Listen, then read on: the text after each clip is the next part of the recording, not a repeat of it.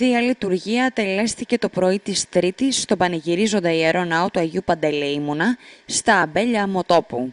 Στη Θεία Λειτουργία χωροστάτησε ο Μητροπολίτης Νικοπόλεως και Πρεβέζης, κύριος και Χρυσόστομος.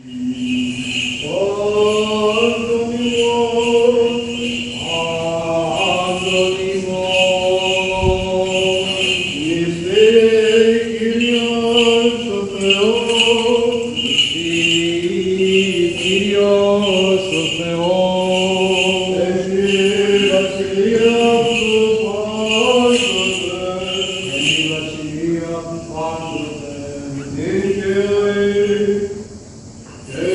Deum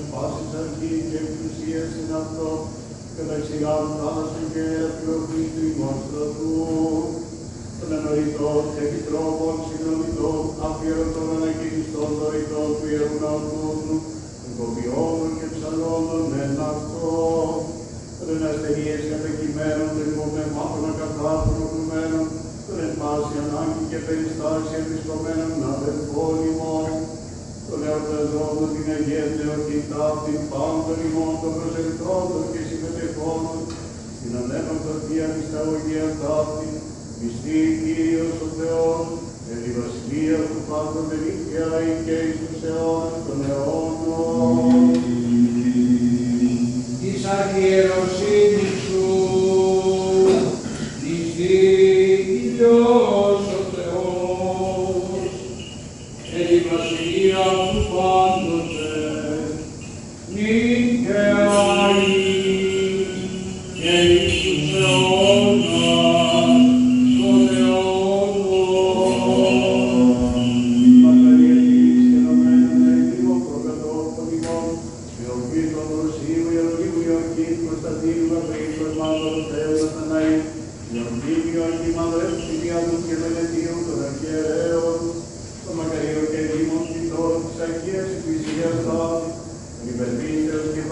Θεοϊκός και Θεός πεσόντων, εν της του έθνους η μοναγός και επεστάτων, πάνω στον ευελπίδια να σάσεων ζωής και κινημένων, πατέρων και αδελφών ημών, πάντων αυτών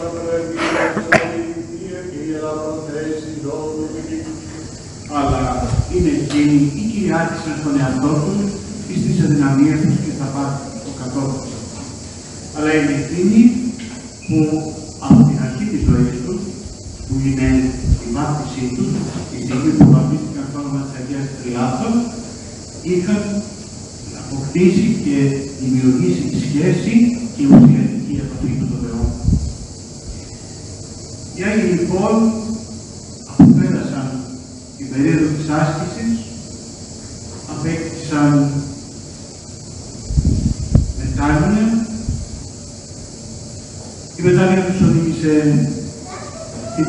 άφεση στην καθαρότητα της καρδιάς και μετά από αυτό απέκτησαν βαθύτερη ταπείνωση. Ποτέ δεν ξέχασα τα λόγια του Χριστού, ζει το Αποστόλου Παύλου, με συγχωρείτε, ζει εν εμπί Χριστός.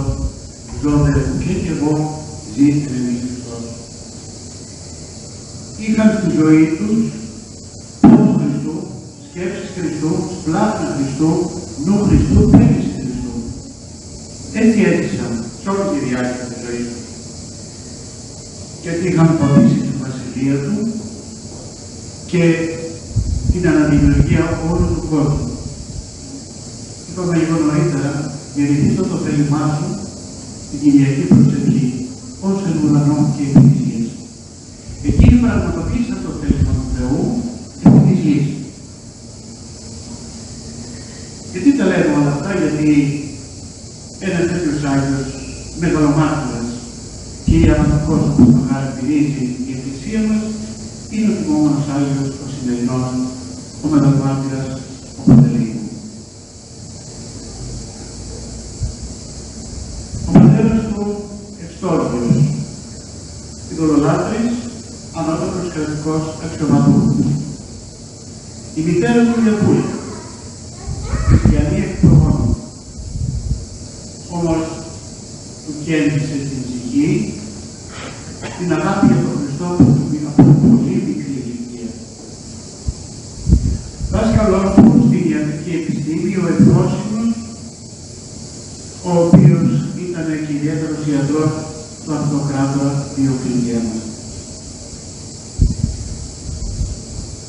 Όμως μαζί με τη μητέρα που του κέρδισε την αγάπη για τον Χριστό, υπήρξε και ο Ιλουμάτιλας, ο Εμόλαδος, ο οποίος τον πενταγώνησε κυριολεκτικά στην πίστη, στην ορθόδοξη πίστη, στην πίστη, στον ένα και τριαδικό Θεό. Ο Ιερομάρτυρος Ερμόλος, ο οποίος μαρτύρησε πριν και τον γιόρταζε χθες η Εκκλησία μας μαζί με την Αγία Μεγαλομάρτυρα, όσο Παρθενομάρτυρα Παρασκευή. Το τρίπτυχο λοιπόν αυτό διαμόρφωσε όλο το πλαίσιο της διακονίας του Αγίου Παντελήμου. Η μητέρα, ο παιδαγωγός, ο ερμόλος, ο ιερεύς και ταυτόχρονα αυτός που του δίδαξε τη διατρική επιστήμη, ο ερμόλος.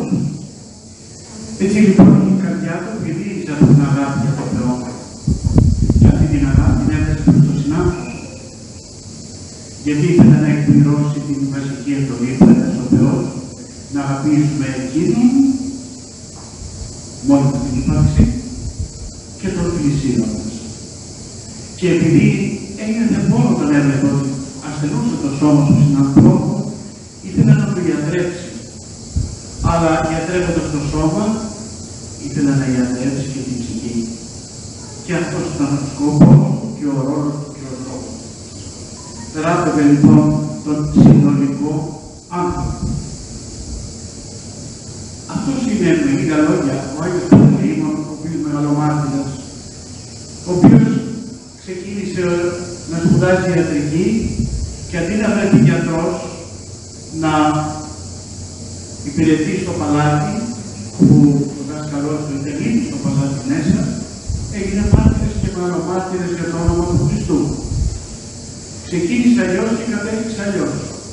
Γιατί η αγάπη του Χριστού τον οδήγησε, οδήγησε τα διαβήματα, τα διαβήματά του εκεί, τα βήματα του εκεί.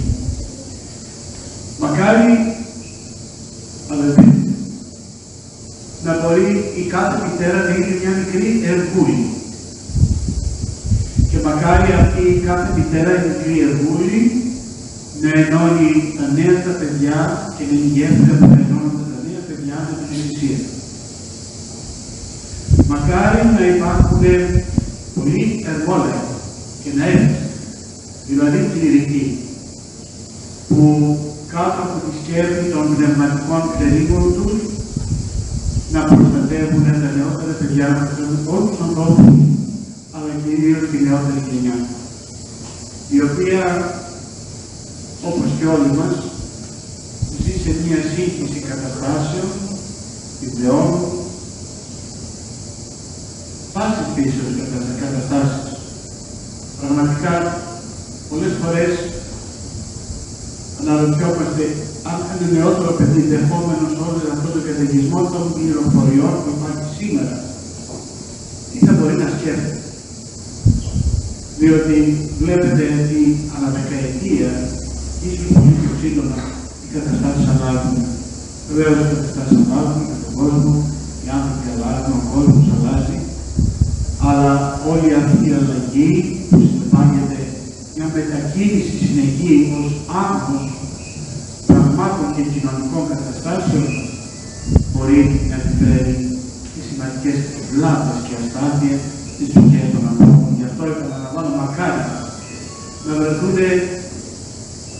πνευματικοί, να βρεθούν ιερείς κληρικοί, οι οποίοι σαν ιερμόλαοι να αναλάβουν και να ζηλεύουν την ανάσταση του Χριστού στο χέρι των νέων ανθρώπων και οι μικρές εργούλες θα χαιρετήσουν τα παιδιά τους και θα αποτελέσουν τις γέφυρες νεότερων παιδιών προς την Εκκλησία. Ο Άγιος Παντελεήμων καταγόταν από την οικομίδια της Μικράς Ασίας και έζησε στα χρόνια του Μαξιμιανού. Πατέρας του ήταν ο Ευστόρκιος, ο οποίος ήταν εθνικός και μετά τις νοθεσίες του γιού του έγινε χριστιανός. Κάποια στιγμή, όταν ο Χιά δάγκωσε ένα νεαρό και ουσιαστικά το θανάτωσε, ο Άγιος Παντελεήμονας, επικαλούμενος στο Χριστό, τον ανέστησε. Αφορμή του μαρτυρίου του στάθηκε ένα ακόμη θαύμα του Αγίου. Κάποτε είχε θεραπεύσει ένα τυφλό, ο οποίος και ανέφερε το γεγονός της θεραπείας του στο βασιλιά, λέγοντάς του ότι το θεράπευσε ο Παντελεήμων στο όνομα του Χριστού, το οποίο και ο ίδιος πλέον πίστευε.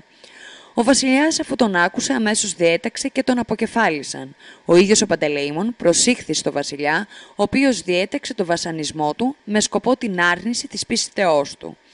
Ο Άγιος βασανίστηκε σκληρά με διάφορους τρόπους, όμως δεν υπέκυψε στις πιέσεις αφού ο Κύριος εμφανίστηκε μπροστά του με τη μορφή του πνευματικού του Ερμόλαο και του έδωσε θάρρος. Τέλος διατάχθηκε ο αποκεφαλισμός του και τότε ακούστηκε φωνή από τον ουρανό που τον καλούσε και όχι ως παντελέοντα αλλά ως παντελεήμονα. Μόλις όμως ο Δήμνιος άπλωσε το χέρι του για να κόψει με το σπαθί του το κεφάλι του Αγίου, το σπαθί λίγησε και το σίδερο έλειωσε σαν κερί.